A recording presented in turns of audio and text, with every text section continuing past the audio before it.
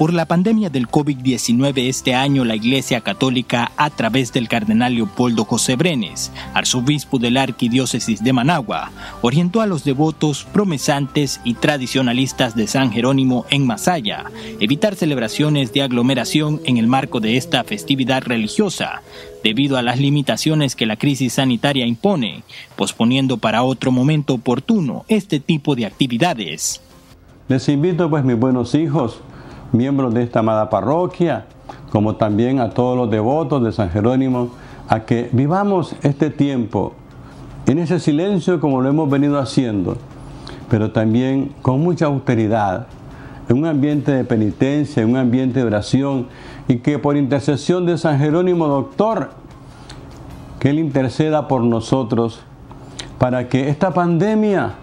pueda desaparecer lo más pronto posible. Y al igual que en las bodas de Caná, que había tristeza porque el vino se, terminaba, porque los invitados se iban a quejar, pero ante la invitación de María, mira a Cristo, ir a su Hijo,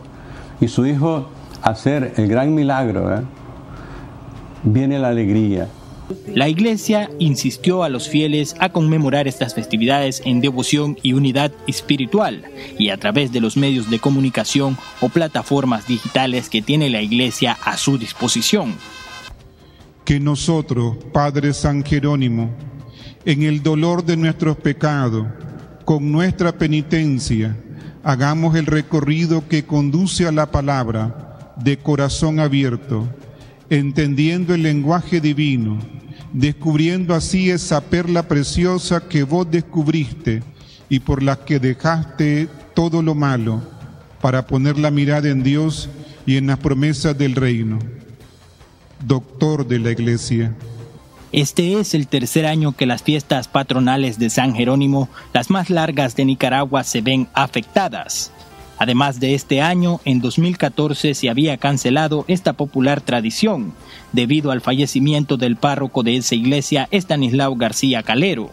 En 2018 la represión, asedio de policías y paramilitares que se desató en la ciudad de Masaya y contra templos católicos en el contexto de la crisis sociopolítica también obligó a la iglesia a cancelar estas festividades. Lorenzo Vega Sánchez, Voz